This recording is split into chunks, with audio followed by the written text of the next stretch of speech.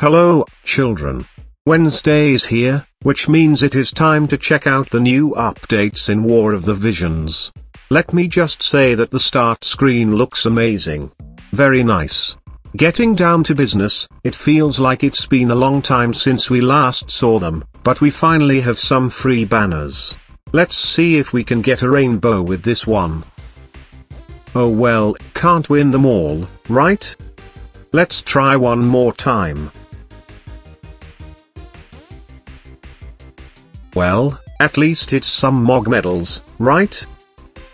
The single, random UR guaranteed banner is not worth it, for obvious reasons. But this is most definitely worth it. You get 10 UR units, including one of your choice. We can also expect a similar banner for vision cards soon, and I am definitely going after that one. If you have some paid Visiore lying around, this is easily the best way to use it.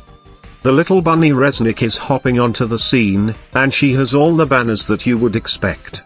Nothing particularly exciting or game-changing, as far as the banners go. Do you know what rhymes with deluxe, children? That's right. Disappointment. At least that's what Gumi thinks. The 40 unit shard select ticket is sort of decent, but everything else is just sad. It's like that famous song. Is this real life, or is this just disappointment? The regular shop looks fancier than usual, but it's all pretty much the usual stuff, so grab the free stuff, and leave. The Mog shop has the pity for the little bunny, and Mary Moore as well. So you can snag both of them, if you want to empty your Visiore wallet, that is. The Rabbit Medal Exchange has some nice stuff, alongside a very expensive Phoenix down, for some ungodly reason.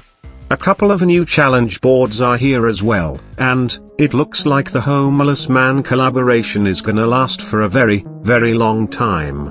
May the crystals protect us from the Homeless Man's influence. Finally, taking a look at the far plane, the next chapter of the Another Story is here, so check out the new Crystal Warriors that we can look forward to. If you are considering going after the new Bunny Girl, I would suggest waiting for a couple of days, just so we can get a decent grasp of what she's capable of. Who knows, you might get her from the free tickets, too. For the new players out there, I would recommend not going after her, as evasion units need a lot of work to make them function properly, which a new account would be lacking. So are you spending your Visiore savings on her? Or are you taking the meta baby approach, and saving for the big, meta stuff? Do let me know in the comments. Well that's all I have for you today, children. Have a good day, always remember to keep breathing, and may the light of the crystals guide you.